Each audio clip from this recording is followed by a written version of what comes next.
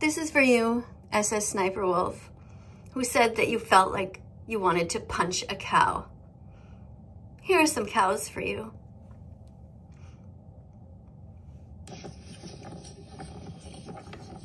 This is the dairy industry. These are baby cows who were kidnapped from their mother. They're separated.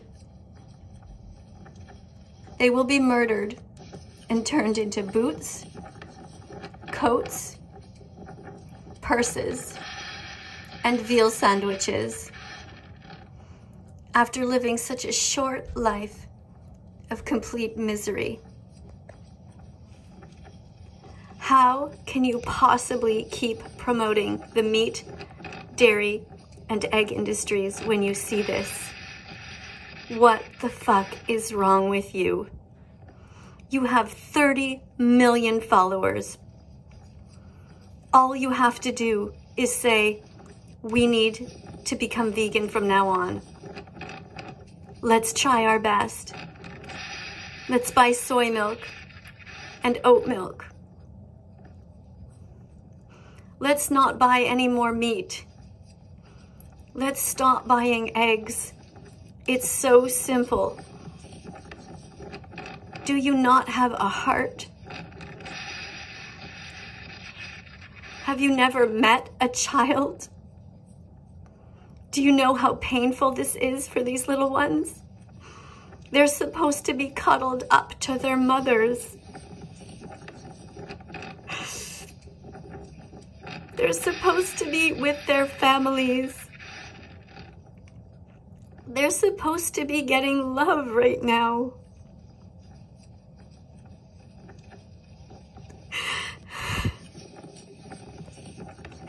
They're supposed to be able to play and not be separated.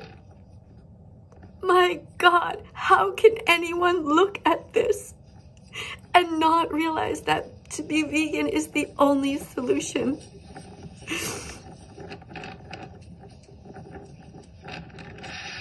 What has happened to us?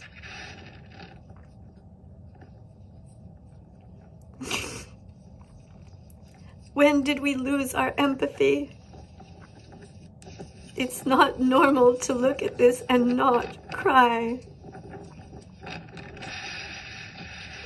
Can you imagine if we did this to cats or dogs?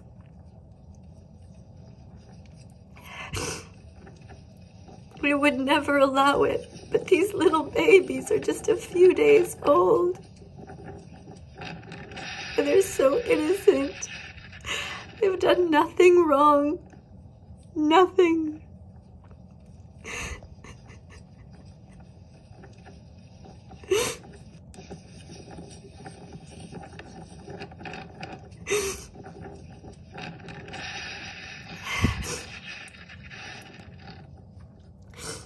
If you're not yet subscribed to different accounts like plant-based news, I urge you to follow them.